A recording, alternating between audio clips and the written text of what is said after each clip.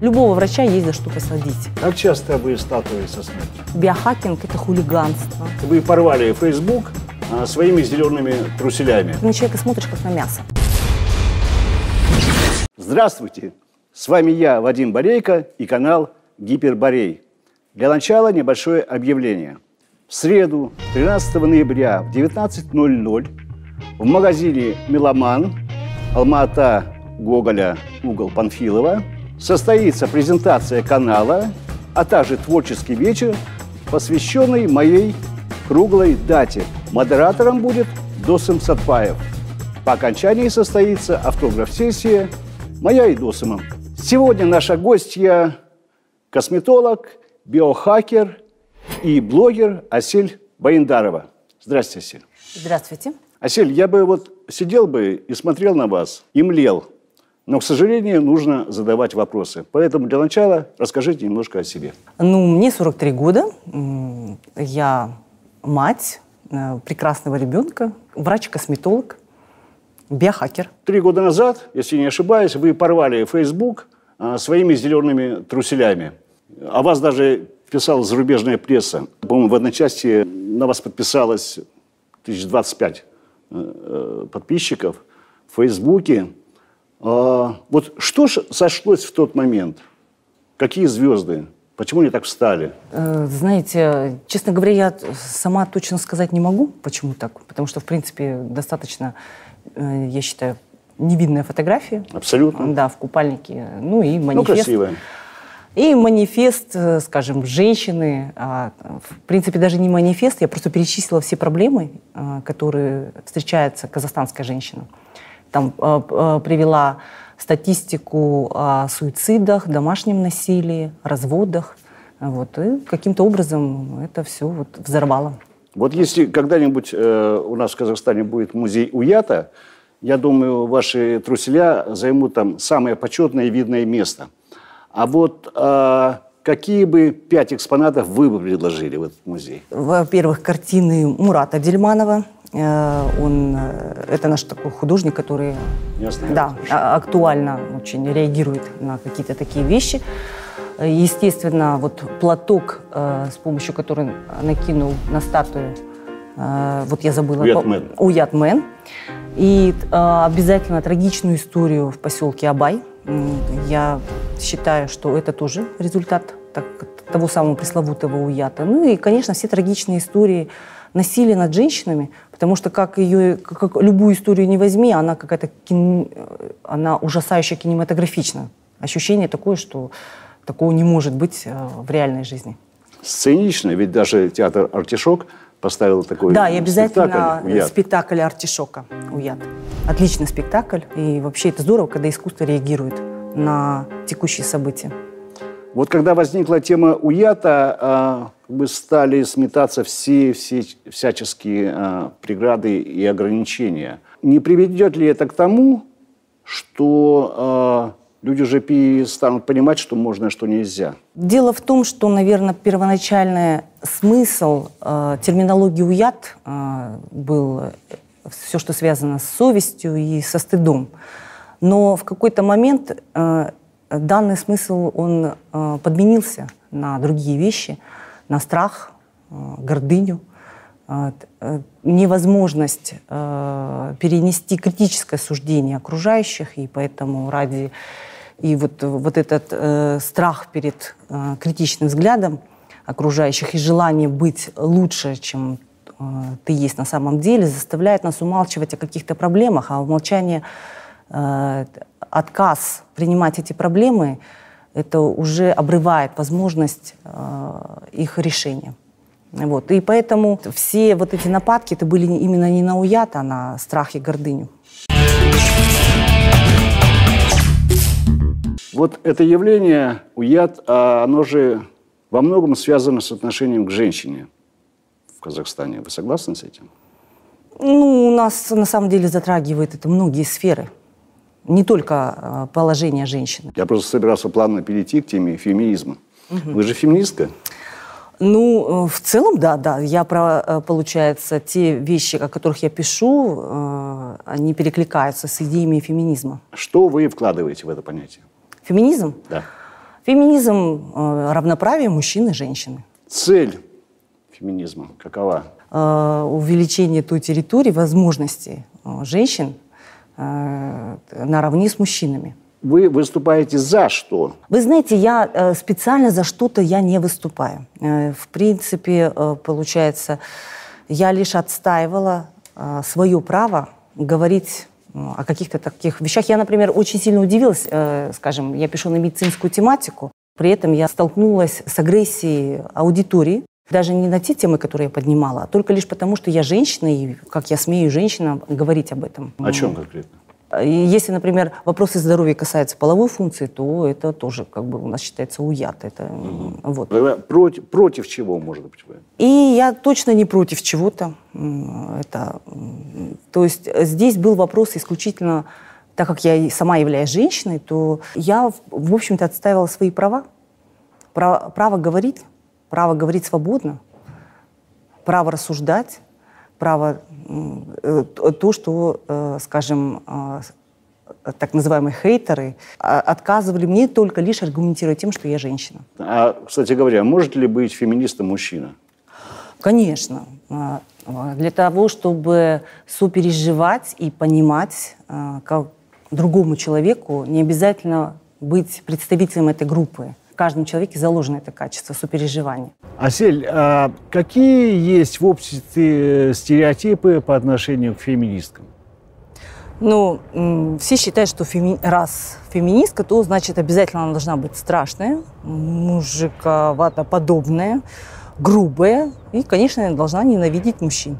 А вот э, еще я слышал, говорят, что они неудовлетвор- неудовлетворенные. Ну, да, само собой разумеющееся, если она страшная и ненавидит мужчин. Кто же ее такую удовлетворит? Вот вы не думаете, что движение феминизма, оно же как девятый вал сейчас в мире, да, что оно является при, одним из признаков кризиса института семьи? Нет, я не связываю эти явления. Это, скорее всего, два параллельных явления. Э, Дело в том, что традиционный взгляд на семью еще остался, а условия, которые дает э, современная жизнь, э, условия для построения взаимоотношений, они сильно поменялись. То есть у современного человека он живет дольше, у него есть возможность познакомиться намного шире, выбора у него больше. И э, само качество жизни, оно все равно увеличилось. Естественно, возникает вопрос, почему я должен какие-то вещи терпеть. Вот, то есть э, кризис, э, институт семьи больше связан с этими явлениями. А феминизм это отдельно по себе. Это, опять-таки, когда уравновешиваются возможности мужчины и женщины, то это рано или поздно женщины по- попытаются Ну. отстаивать свои права. То есть я бы не стала бы э, это связывать. Они идут параллельно, но одно из что другого они не автономны, истекает. я очень сомневаюсь, что они действительно так уж не взаимозависимы. Вот, скажем, вам самой, вам нужен муж или спутник э, для жизни постоянный? Любой зрелый человек, а, он а, должен быть в состоянии обеспечить самостоятельно себе э, потребности, быть, служить сам себе опорой. Он не должен нуждаться ни в ком. Но, естественно, он должен от- э, осознавать, что любить и быть любимым однозначно лучше, чем э, быть вне этого всего. Это вот моя позиция. Очень многие женщины декларируют просто, что они спокойно могут э, обходиться без мужиков. И, по-вашему, семья – это что, только материальная зависимость от кого-то? Это вот это единственный цемент, который скрепляет. скрепляет? Вот это, кстати, и неправильная ситуация. То есть, вот, например, если говорить «я» и феминизм, а, я сейчас, если вы заметили, в моих постах я практически прекратила поднимать вопросы взаимоотношений мужчины и женщины, потому что многие ответы я нашла для себя, и, скажем, я перешла от практической, ой, от теоретической части феминизма к практической. То есть феминизм э, это не только заявка о правах. Там, где есть права, там есть и обязанности. Я сейчас перешла к практической части, то есть я стараюсь жить вот этими постулатами, то есть э, стараюсь стать полностью сильной независимой личностью, э, которая может сама себя во всем обеспечить. А Вот. э, Естественно, если я, у меня так получится стать такой, то, конечно, я ни в чем не буду нуждаться, в том числе и в мужчине, как в качестве опоры. Но э, потребность именно вот для чего тогда нужен мужчина? Мужчина нужен для любви, то есть мы друг другу нужны для любви. И семейная жизнь это такой же э, сильный ресурс, почему бы, э, э, который должен присутствовать у каждого человека. Маленький мужчина для любви, а большой для баскетбола.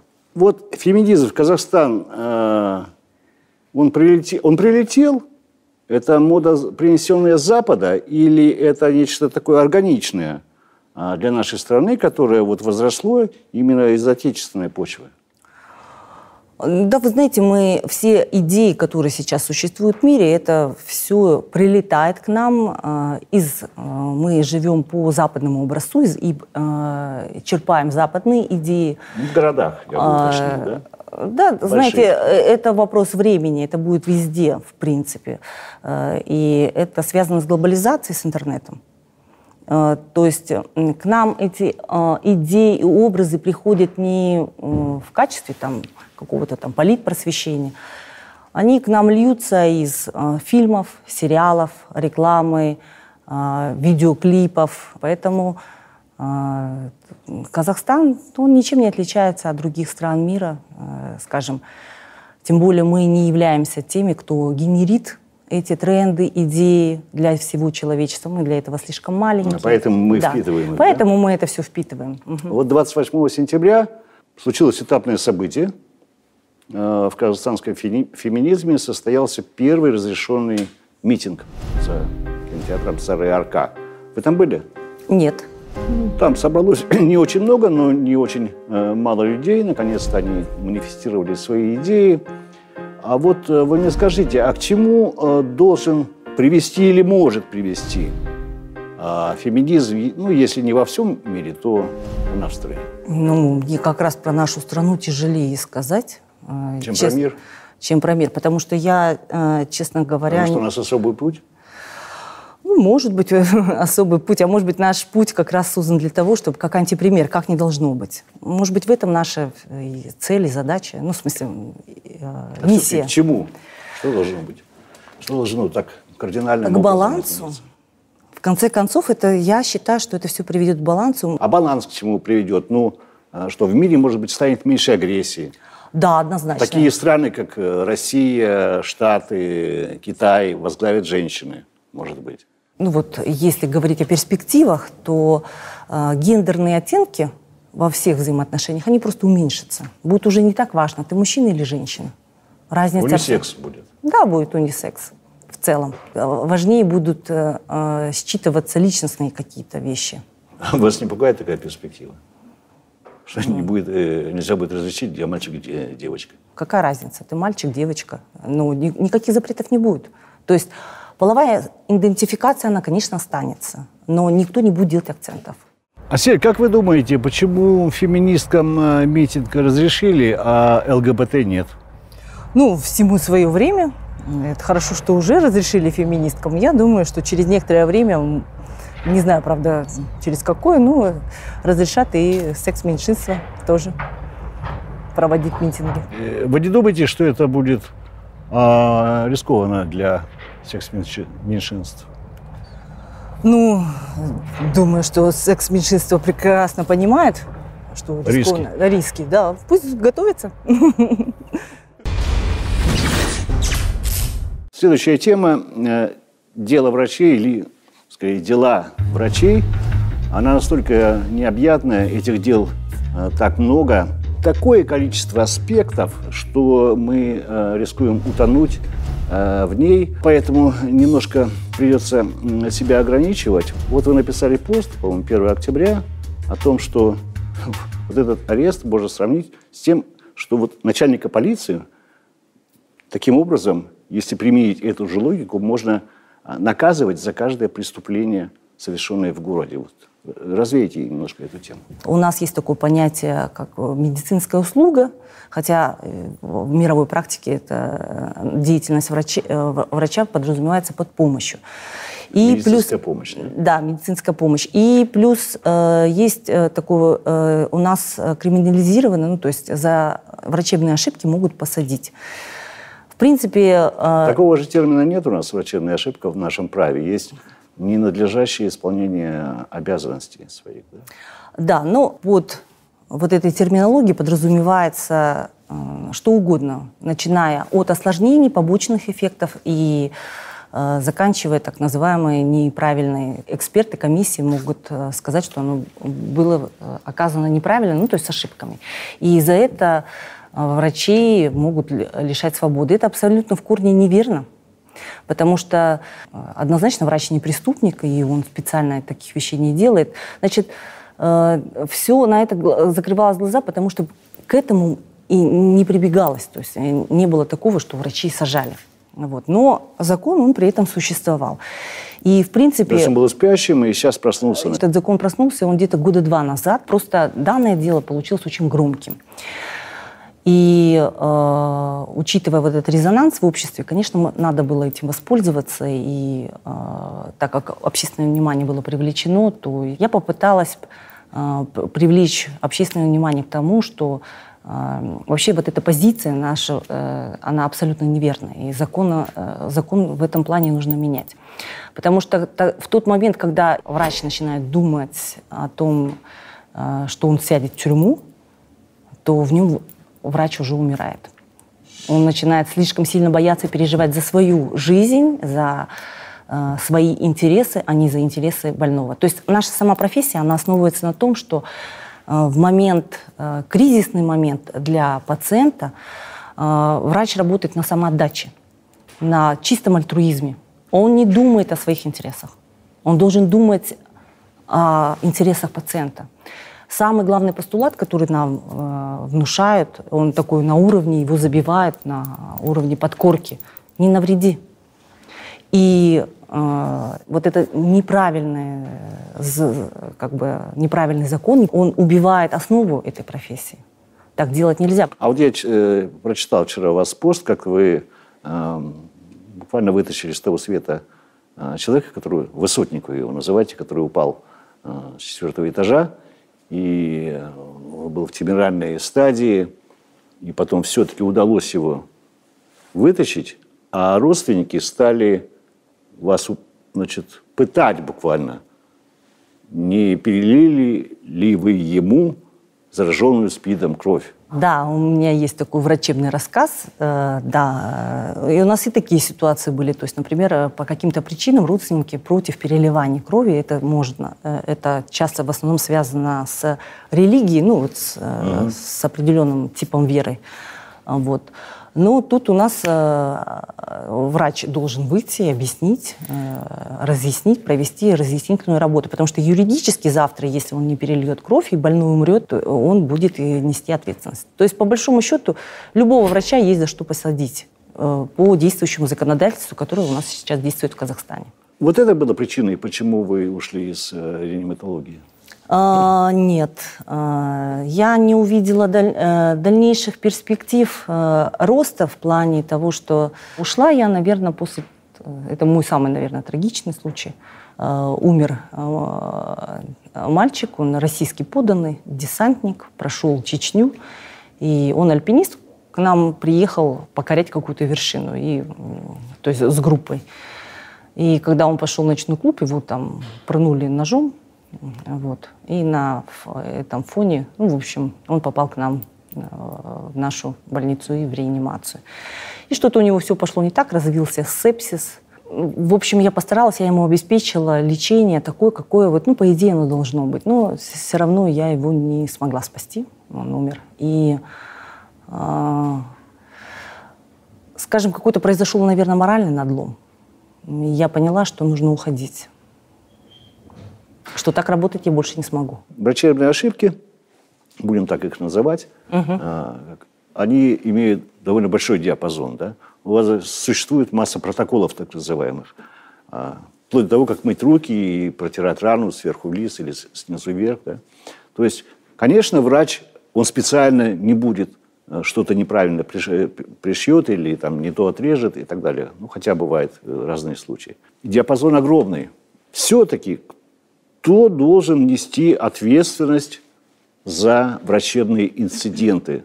Сам врач, э, я даже скажу медик, потому что сестры тоже, э, на них э, большая доля ответственности. Либо руководство клиники, либо клиника сама, либо страховая компания. Вот теперь какой опыт есть за рубежом? Ну, э, за рубежом ответственность, она всегда у врача материальная. Юри... Не уголовная. Э, уголовная, если есть, это оно связано, ну, вот если э, доказана преступная преднамеренность. Mm. Вот. А во всех случаях других это в основном материальная. И материальная ответственность делится между врачом, клиникой, страховой компанией. Обычно так. Вот. Но говорить о материальной ответственности наших докторов вообще рано – это нужно сначала что-то сделать с зарплатами. Вот. Было с чего штрафовать? Да, было с чего штрафовать. То есть врач в этом плане абсолютно какой-то в уязвимой позиции и с материальной точки зрения, и с юридической точки зрения. Вот. Но ну, нам э, все э, однозначно беды э, в здравоохранении у нас огромные. И ну, начинать реформы с э, наказания и э, с мести врачам это абсолютно неверно. Потому что у нас опять-таки присутствует та же самая проблема, что, которую мы до этого поднимали в УЯТе. Мы боимся признать наши проблемы.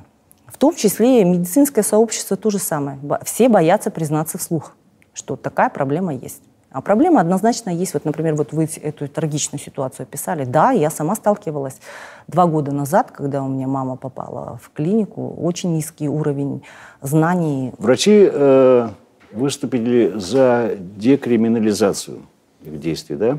Как вы ее видите? Вот шаг за шагом, а, что должно быть сделано? Ну, в первую очередь, это нужно э, вывести врачебную деятельность из криминальной зоны. А после этого, конечно, ужесточать контроль над, э, лицензирован, над э, лицензированностью. С чьей стороны? Со стороны Финпола, как, нет, нет, который нет. сейчас э, расследование проводил э, в медицинской сфере, да? Когда оказались э, аффилированы и полиция, угу. и прокуратура. Нет, это, это, это должно э, э, внутри э, как бы создаваться такие структуры. Внутри структуры, чего? Внутри здравоохранения. Структуры контроля. Ну, это качества. будет то же самое, как жалобы на полицию рассматривает сама полиция. Здесь, наверное, нам нужно обратиться к успешному мировому опыту.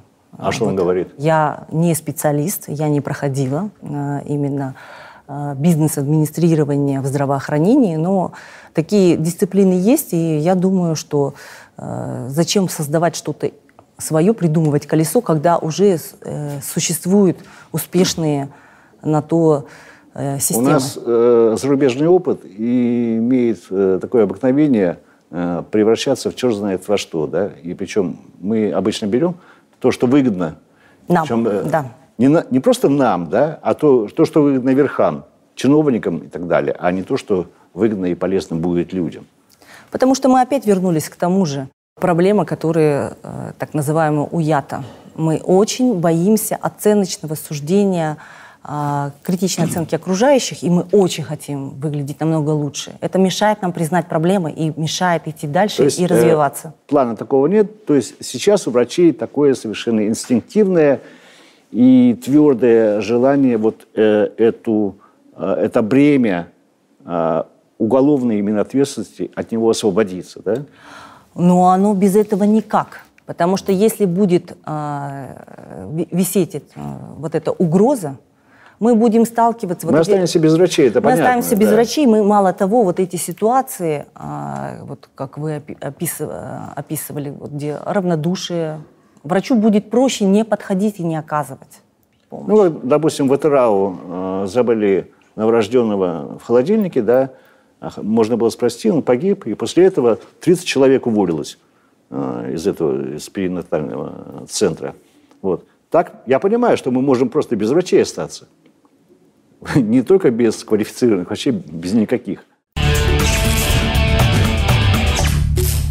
Вы знаете, я хочу какой аспект э, рассмотреть. Вот вы очень активная э, в социальных сетях, да? Я бы назвал даже гражданским активистом. Это так или нет? Нет, это не так. Я только пишу, я никуда не выхожу. Я ну, вообще не считаю себя а, очень... А вы не считаете, что, э, разве что, э, писать постоянно в соцсети не только на профессиональные темы, а не на социальное значимое, это тоже гражданский активизм. Вы же, Мне это ничего не стоит. ну, ну все-таки это время. Вы же за любой кипиш, Нет, не за любой. кроме голодовки или кроме диет. Ну вот э, на самом деле вот э, гражданская активность, э, я вообще этими людьми восхищаюсь, кто ходит там на митинги, кому-то что-то вот пытается улучшить жизнь всех людей, и на это ему не жалко своего личного времени, своих личных усилий. Но я не такая. И я в этом плане такая достаточно ленивая, мне э, проще отстояться в стороне. Ну, раз, э, я думаю, у меня появился голос, э, то если я считаю э, действительно хорошее дело, почему бы не Слово помочь? это тоже поступок. Я вот к чему вот веду? Я, кроме вас, вообще не знаю медиков в Фейсбуке. А, И э, медики, они это одна из самых социально пассивных групп. Может быть, пассивнее только учителя, а, безответнее, чем медики. Сейчас вот это движение за декриминализацию, оно широко освещается в СМИ, журналистами, и потому что это инфоповод, и из чувства самосохранения, потому что реально можем остаться без, вообще без врачей, да? Вот, и, ну, журналисты обязаны писать. И по зову сердца, и, и это их профессия такая, писать а, об этом. То есть они фактически, они поддерживают врачей, да? Но я не припомню, чтобы, а, скажем, врачи выступали за декриминализацию клеветы или социальной розни и прочей всякой розни, или распространение а, заведомо ложной информации. Это же все уголовные преступления, да? В прошлом году закрывали ротель. Ну, Заступили сразу, что правозащитники и отдельные СМИ. А, Ни одного врача я на процессе не видел. В принципе, а, по большому-то счету, ну, не только медики, это всему обществу по барабану свобода слова. Совершенно. То есть никто не дает себе труда ну, сделать два хода. Насколько как человеку самому необходимо. Ему не по барабану становится, когда дело касается лично его. Тогда тут же бегут журналистам, занят в редакции и так далее. Вот в прошлом году я вот так губу закусил, когда прочитал информацию, что в Словакии после убийства журналиста-расследователя Яна Куцейка были многотысячные демонстрации в Братиславе, в столице. Люди вышли. И в стране случился политический кризис. У нас, я припоминаю, только митинг в защиту Геннадия Бендицкого, который прошел в середине э, 2000-х за Сарааркой, когда против него возбудили уголовное э, дело о клевете.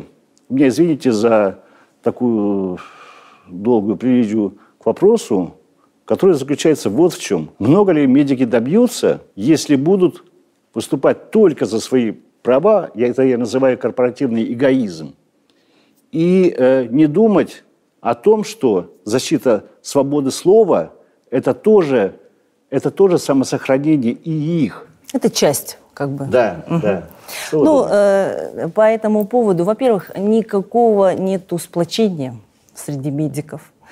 А, Я состою в четырех чатах медицинских и могу... Что я наблюдаю? Там есть и стокгольмский синдром. И, э, по а отношению к кому?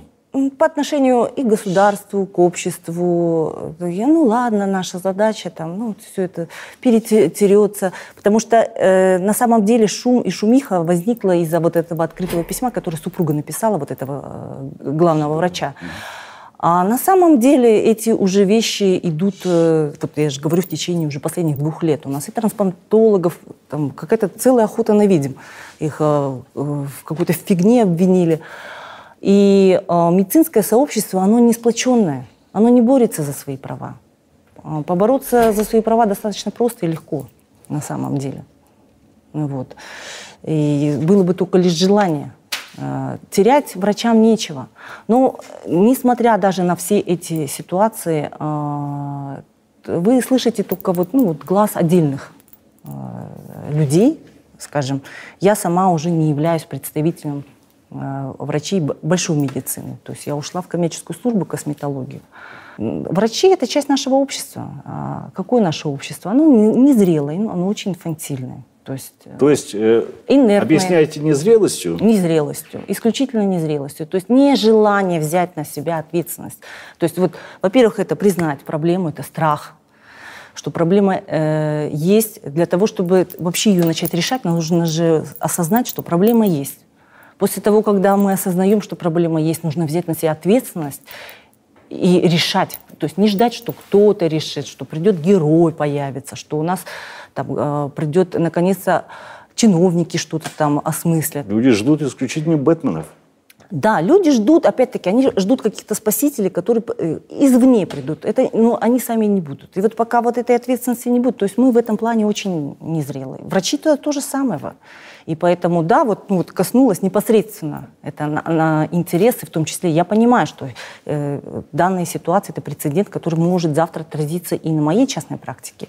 Конечно, я защищаю это шкурный интерес, а, вот. но таких, как я, действительно мало. А, которые бы ну, выступали. А вот министр здравоохранения Елжан Бертанов, по вашему мнению, он может быть таким Бэтменом?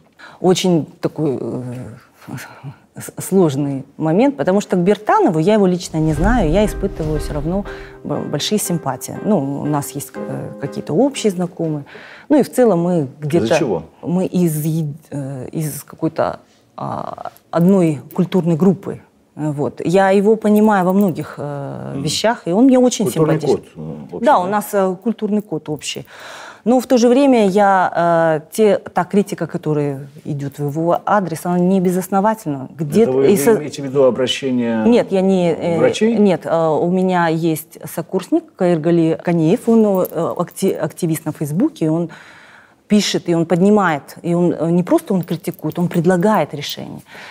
И вот сейчас, вот он, например, освещает э, процесс, вот когда э, государственную детскую поликлинику просто приватизировали, и вот, вот этот момент. И вы знаете, складывается действительно впечатление, что Бертанов где-то прогнулся под систему. Но опять-таки, кто я такая, чтобы его э, критиковать? В чем? Вот э, в приватизации государственной клиники или что? Нет, а, а вообще все те, которые происходят в течение реформы, э, они как будто бы идут в целом против здравоохранения. Вот. Но, опять-таки, я к Бертанову лично испытываю большие симпатии. И критиковать его я не имею никакого права, потому что я не нахожусь на его месте. Потому что я, если бы я работала бы э, в, сама в структуре здраво, э, там, в управлении здравоохранения, принимала бы вот эти все удары вот этой системы на себя, то да, я бы, конечно, активно выступала. А так нет, я не могу. Все-таки хочу немножко спросить вас о работе э, в реаниматологии. Долго вы там трудились? Так, э, где-то э, около трех лет в качестве простого врача э, в отделении реанимации центральной, и потом э, три с небольшим года на кафедре э, КАЗНМУ, ну, нашего мединститута э, общей хирургии с курсом реанимации. Ну, то есть я также оставалась при э, своем отделении. Как часто вы сталкивались со смертью? В практике у реаниматолога это каждый день случается. Каждый день? Да. А к этому можно привыкнуть?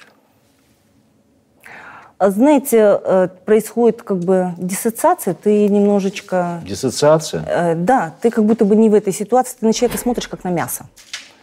Э, однозначно это помогает в плане того, что ты эмоционально притупляешь. Но привыкнуть до конца, нет, такого не может быть, потому что каждый раз, когда вот эти моменты случаются, и, и, и каждый раз, когда ты проводишь реабилитационные мероприятия, несмотря на то, что ты уже так, э, у тебя все отработано, но выброс э, гормонов стресса просто колоссально огромный, зашкаливает. Вы писали, что давление повышается до 160, да? Ну, я э, как-то было однократно померила. Не, у меня не давление, у меня тахикардия. То mm. есть вот пульс подскочил. Вот. Ну, а пульс 160? Да, да. То есть э, все время субъективно там изменяется время. Время растягивается, тебе кажется, что ты все делаешь долго, что ты все делаешь слишком преступно долго, что ты теряешь драгоценное время, ты теряешь больного. Вот эти моменты, они Ну, врач, тем более реаниматолог, он не должен умирать с каждым больным, да? Нет, это ты не умираешь. Но э, все время есть ощущение, что ты не успеваешь. Хотя там глянул на часы, то есть контрольно, раз заинтубировал, тебе кажется, вот, вот все, вот, он, больной поймал гипоксию. Смотришь 15 а вот секунд. вы сказали случай с десантником. Это вот а, вы тогда зацепились, да, лично? Поэтому надлом произошел? Да, он у меня, получается, в моей палате. А, где-то мы его тянули около двух месяцев. Там была неудачная операция, первая, потом э, ему понадобилась вторая операция. После второй операции возник, э, развился сепсис. Ну, так как организм был молодой, он долго боролся. В общем, за нахождение, за вот эти полтора месяца, тем более там и сама личность была очень стойкая. То есть он, мальчик внушал уважение э, и симпатию. Асель, мне очень нравятся ваши рассказы э, о реаниматологии. Я думаю, в принципе, уже можно книжку набрать между жизнью и смертью. Но э, вот все-таки маты меня режут. Читаешь, допустим, Маду Мусину, ну, там как-то это естественно, органично, ну, может, потому что э, она миллениал. А у вас меня все-таки коробит и несколько стяжает ваш образ. Ну, так ли уж это необходимо? Ну, может быть, и это, в этом и нет большой необходимости, но я писала э, так, как оно было. Знаете, в экстренной службе мы не разговариваем на чистом литературном языке. Там, где нужно экономить время, чаще всего нам помогают высокоэнергетичные, емкие э, выражения. А вот сейчас вы на работе также общаетесь? С клиентами тоже? Нет, нет, нет. Естественно, что с пациентами мы применяем нормальную литературную речь. А вот э, в индустрии красоты коллеги между собой как общаются? Ну, полегче, конечно, чем... Э, полегче, подоходчивее, да? ну, имеется в виду, что мы, конечно, меньше используем э, э, ненормативную лексику, но в целом, если близкие люди, плане шуток, мы, медики любят, конечно, крепкую речь. Слово биохакинг я узнал от вас. Ну, вкратце расскажите, что это такое, с чем его едят? На русскоязычное пространство термин биохакинг у нас э, ввел Серж Фаге. Это топ-менеджер в каких-то там программных э, делах, э, программист. Он написал статью, как я биохакнул себя за 200 тысяч долларов. И эта статья разорвала, просто взорвала русскоязычное пространство, потому что он четко написал рекомендации, инструкции, дозировки препаратов. Э, многих препаратов. И, конечно, врачи э, были возмущены тем, что на здоровый фон э, достаточно назначаются серьезные виды терапии, серьезные виды препаратов. Вот, и, но с этого момента все узнали этот термин. То есть биохакинг – это попытка контроля организма, попытка удержания гомеостаза, то есть постоянства внутренней среды на характерный на более молодой уровень. Почему попытки? Потому что мы, по большому счету, до сих пор не знаем, что такое старение. Мы, вот если представим картину, которая состоит из тысячи пазлов, мы открыли, может быть, пазла 4-5. Вот, поэтому, э, по большому счету, биохакинг – это хулиганство. Мы пытаемся предвосхитить и предупредить какие-то события, но в неопознанной сфере. То есть это не может быть ну, это нельзя э, назвать обман природы. Это игры с ней. Это игры, это игры, это говорю, это хулиганство, это хулиганство, это однозначно хулиганство.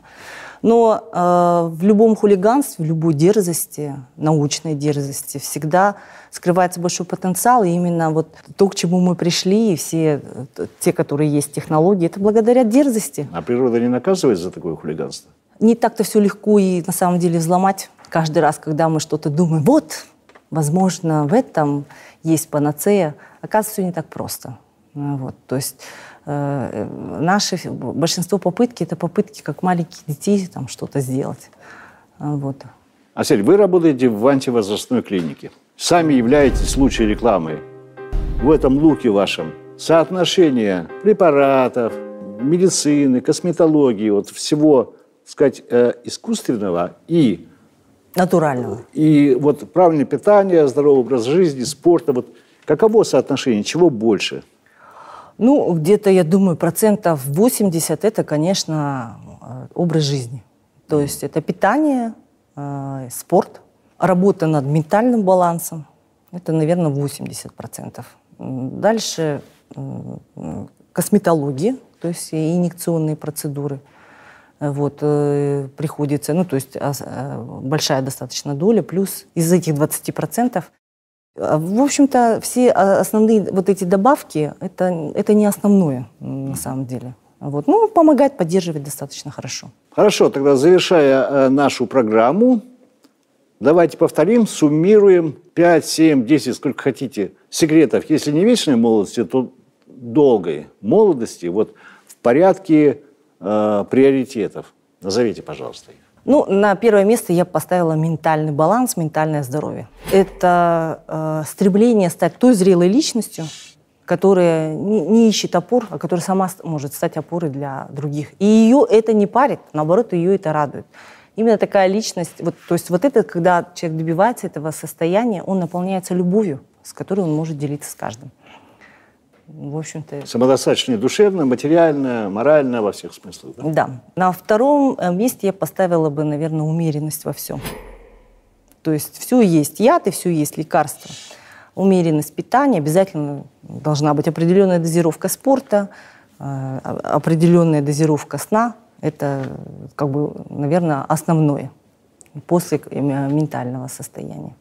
Вот любовь и умеренность во всем. Теперь конкурс Напишите ваши способы, ваши способы борьбы за долголетие, за здоровье. И тот комментарий, который мне понравится больше всего, э, тому я предложу э, свою консультацию. Консультация будет расширена не только по косметологии. Я вообще по биохакингу группы не веду, но дам э, рекомендации по какие нужно сдать анализы, что, о чем они покажут, и по дам рекомендации для долголетия и для здоровья. Спасибо вам огромное угу. за беседу, Асиль.